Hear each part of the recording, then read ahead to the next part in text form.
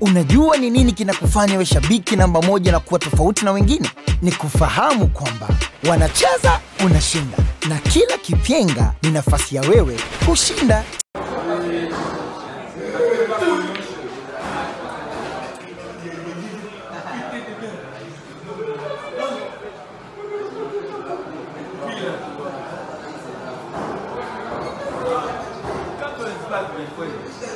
Kanda.